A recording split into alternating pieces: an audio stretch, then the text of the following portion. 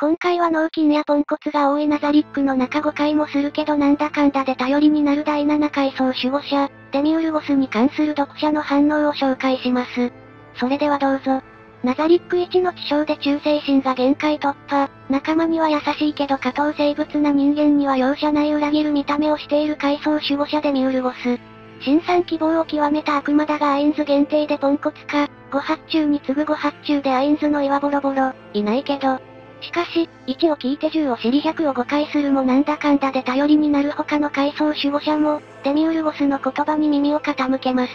こいつと他の守護者だけで世界征服できるよね。でもこいつ便利使いしてる限りアインズ様息苦しい生活やめられないよ。牧場でエグすぎることやってるしなアベリオンシープいいよね。アベリオンシープ、アベリオンシープです。つまりこういうことですね。こいつ絡むと大体成り行きエグくなりすぎる。でもね、アインズ様もデミウルゴスの予想を超えた動きで目標達成しちゃうのが悪いんだ。一期は目立たなかったけど裏で色々やってたんだろうなこいつ。一期でアインズ様がシャルティアと戦う時アルベドに本気で切れて抗議してたのが好き。1を聞いて100理解する男。人間の生皮スクロール量産業者。ヤルダバオと最終戦の時ウルベルトさんが作ったアイテム使おうって話の時実際使ったのってアインズ様からもらった失敗作の方のアイテム？それとももともと持ってた完成品の方のアイテム？失敗作の方。いかにも見た目裏切りそうなこいつが忠臣で、いかにも見た目忠実そうなアルベドの方が裏切りそうなのがいい。アルベドは基本的にアインズ様しか見てないからな。その気になったら仲間すらしてるだろうし。精神支配アイテム探してるのアインズ様に使う気満々なんじゃないのかな。アルベドのあれはモモンガが直々に書き換えた部分だから優先順位がやばいことになってんのかな。あとはユグドラシルを離れていく仲間に無意識にマイナスの感情を抱いてたのが、設定書き換えた時に輸入した説があったりする。収録現場でも日野聡に、ここは原作の〇〇巻にあったあのシーンの伏線と繋がってのアインズ様のセリフなんですよ日野さん。ってよく説明してた原作ガチ勢なデミウルゴスの CV の人。アインズ様がいない場合ナザリック半壊って犠牲を払いながら世界征服達成するらしい。実際こいつ一匹だけでも世界征服は可能なんでしょ？さすがにピンじゃツアーとかには勝てないんじゃないかな。デミは守護者じゃ趣味ロマン枠で強い方じゃないし。ナザリックが強いのはプレイヤーのアイテムを使えたりアインズ様のゲームの知識を持っているのが結構大きいから。デミウルゴス一人だとツアーや他の強者に殺されると思う。デミ一人とか忠誠心の向かう先がなくて精神的に憤死しそう。仕えることに喜び見出してるから一人じゃ何もしないよね。アベリオンシープ飼育するくらい。アベリオンシープいいよね。自分では及ぶべくもないと思っている相手が、自分の想像すらつかない形で結果を出し続けてるんだから疑う余地もないよね。実際に結果を出し続けるアインズ様が悪い、誤解が解けるタイミングがない。仕事多すぎる。こいつはマジで働きすぎる。主が思ってないことすら察してしまう忠臣。創造主にもモモンガ殺せと言われたら全 NPC 集めて公衆の面前で決闘申し込むレベルで忠義感じてる。位置を聞いて Z を知るタイプの部下。なんかこう神の託戦を聞く巫女的な役割を感じる。さすがだな。皆にわかるよう説明してやれ。ぶっちゃけ勉強。実質影の支配者みたいなとこある。モモンガさんが RP してくれてるのみんな知ってるのがひどいよね。そうなの？ゲーム時代の記憶はあるから当時と違うということは分かってる。自分たちのために支配者してくれてるっていう認識。普段はそうじゃないけど支配者前とした態度をしてくれてるのは知ってる。実は凡人というのは分かってなくて万年先も見通す創造主のまとめ役にふさわしいお方だとも思ってる。亡くなってるはずの胃が痛い。自分たちのために演じておられる偉大なるお方ですゆえ。唐突に防衛だけ強化してあとは毎日楽しく過ごそうぜってアインズ様が言い出したらどうなるかな。もし初手で全勢力が結集して出口で待機されるとそうなったよ。もう遅い。別にシラフでも全く問題なかったのがね。なんなら巣を見せたらそれはそれで喜ぶよな。アインズ様への出来合いは根底にあるからいくらダメ人間になってもアプローチが変わるだけなのよね。最後まで残ってくれた心優しき思考のお方ってのが大前提だから。頑張って尊大に振る舞おうとしたファーストコンタクトが失敗だったとも言える。気軽にナザリック大家族して楽しく過ごそうぜでも何でも多分問題はなかった。素のままでもそれはそれでみんな幸せそうなのが容易に想像できるな。いてくれるだけで1000億支配者ポイント。だからムーブは関係ないんだよな。支配者ムーブを自らしてくれてこれは、好感度オーバーフロー。凡人バレしてもリーダーしてたのには変わりないからな。今度は至高のお方を支えなきゃという気にはなってたかも。引きこもりたいっつってもそれはそれで全面支持するらしいからこいつらが嫌がるのって自殺くらいしかないんじゃないか。休日なんてどう？どこかで失望されたルプーを可愛がる流れで期待しすぎて、ごめんねしながらルプーをあげ前末前でお世話してあげるってのを思い出した。愛想つかされるの怖かったし。好感度100どころか1万くらいなんだよな。まあモモンガ様はそれを知る由もないわけだが。モモンガ様も静の記憶を見て操作してたしペロロンチーノとかとの会話を NPC たちに覚えられてるの認識してそうなんだよな。実に今更だが。静の記憶ってどこら辺の話？静を西王国に連れて行った時にナザリックのセキュリティ関係の記憶を一時的に封じてたはず。ゼンベルの記憶を除く時とかちらほら出てくる。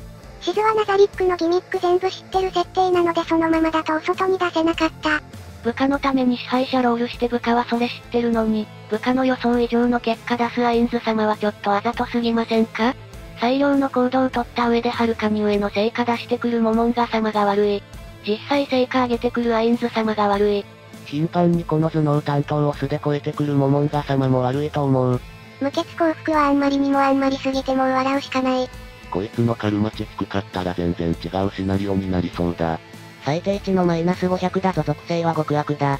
この場合低いっていうか高いか紛らわしいな。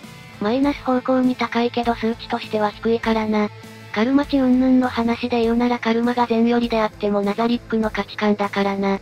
だから善寄り勢のセバスやユリであっても慈悲くらいは求める程度だし。最新2巻の暴れ方やばいよ。最初期は守護者たちに襲われる心配してるアインズ様可愛い。絶対ありえない。美女美少女取り揃えてる作品なのにぶっちぎりの一番可愛い生き物扱いされている至高のお方だ。心構えが違う。そういやよく考えたらパッと見のレベルがアインズ様の方が高くても、プレイヤーとレイドボスだし本来守護者側の方がはるかに強いわけだよな多分、シャルティアソロ討伐もむちゃくちゃやってギリだったし。レイドは違うやつじゃねえの。レイドは違う、守護者は単体ボスレベル、シャルティアは相性の問題できつかった。いやこらダンジョンとしてのギルドエリアに配置するようなボスキャラなんだから、最低でもパーティーで討伐するレベルではあるはずだよなって話として。まあ確かにレイドは言い過ぎか。シャルティアはモモンガと仲良しのペロロンチーノが作ったから全力でモモンガ殺し構成してるだけだよ。そういうプレイヤーメタで一人くらい作っとくかみたいなもんかと思ってたけど、遊びでモモンガメタキャラとして作られたのか。アイテムあるから出し惜しみしなきゃアインズ様に基本的に部があるよ。シャルティアはモモンがメタしまくったような性能なだけでそれでも知識とアイテムあれば倒せるし。てかシャルティアは多分対モモンガ用というか、モモンガサポでスキル作ったらああなっちゃったのでは。仲良しだから全力で殺すとかそういうノリじゃない？逆に言うとナザリックがパーティー組むと現地民なすすべなしになるよね。パーティーを組む必要があるのでちょっと昔みたいに冒険したいからって言えばみんなノリノリじゃん。モモンガ様が指名しないとメンバー選出で大惨事になりそう。一応聞き戦くらい知っちゃう人。一応聞いて10を知り100の深読みをする中心。そして億千万の成果を持ってくる主君。正のスパイラルですわ。むしろ現状はモモンガ様がやりたがってると勘違いされてる世界征服を企む魔王様ごっこに、部下がモモンガ様のために全員ガチで乗っかってきてくれてる状況だからな。アインズ様は結果往来のカゴでもついてるの。何らかの奥の手まだ持っててそれ込みだと反乱されても対処できるんだよな。化け物かよ。はい化け物ですが何か。あれが本気になったモモンガ様。早くモモンガコアの詳細知りたい。あと何巻くらいで終わるんだっけか。あと2巻くらいで終わるのでおそらくエルフからの報告で終わるのでは。終わるのか。確認したらあと3冊だな。まあ終わらせる前提でエピソード削ってるから。今年中とか言ってその年の17月に出してきた作者を信じろ。キルメン同士でのバカ話してるのを知ってるのに、モモンガ様ってもっと怖い人かと思っていましたって言われる。いきなり支配者ロールしだして怖くなったのでは。逆だよ、そう接したら優しい印象になった。私たちの期待に応えて絶対者たる振る舞いをしてくれるとは。さすが最後まで残ってくれた慈悲深きを語ってアルベドにまとめられた。まあバカ話も内容の意味わからんだろうしな。なんかすげえ高度な話していらっしゃるわ。くらいに思ってたんだろう。声優に対して魂を吹き込む仕事よ。ってなってたりしたし正しく認識はできてないけど、それでも気軽に世間話する鈴木悟さん的なノリのキャラの存在自体は理解してるからな。守護者たちとナザリックを本当に大事に思っているってのがしっかりと守護者たちに伝わってるのがいいよね。おかげでさ、さんも教えられた認識で考えてるのもあって、さ、さんがかわいそうな未来しかなくなってしまった。所詮傲慢なさ、さんだから。現状本当にまともに守護者とため張れるのがさだけだろうなってそこが見えちゃったから後に感ってすげえ短く感じるわ。鈴木くんは自分のこと過小評価しすぎる。もともとの気質もあるかもしれんけど、所属サーバーのチャンピオンが目の前にいたら俺大したことないわってなるよ。トップギルドの末席にありがちな謙遜。ランカーギルド末席のギルマスなんや。王様というか統治者としてはジルやラナーはじめランボッサ王にもとても届かない。戦闘力でもロマンよりのビルドだって自分が一番承知してるし、戦士としても魔法使いとしてもかつてのギルメンに最強クラスがいたから余計過小評価する。有利な状況を作るところから始まり交渉力は結構すごい。最初のカルネ村は魔導国とかのバックボーンなしになんとか怪しまれずに友好関係結べたりしたし。クソが。ラッパー。抑制。アンデッドの感情抑制機能きつい。昔を思い出して喜んでたら抑制されたシーンがかなり悲しかったですよ私は。負の感情だけじゃなくて楽しいポジティブな感情も抑制されるの本当にお辛い。じわじわと煮えたぎる怒りは続くよ。そこで完全なる競争ですよ。第三次になったやつ。異世界カルテットの鈴木さんも幸せそうですき。養生婦さんと呼び捨てで呼び合う仲になるのは意外だった。女神に浄化されそうになるけど強がりで聞いてないふりするのいいよね。アインズ様にダメージ通るあたりあの女神やっぱ強いんだな。知能以外めっちゃ強い。知能が低い以外はダウングレードしていてもマジモンの神の剣能行使するからね。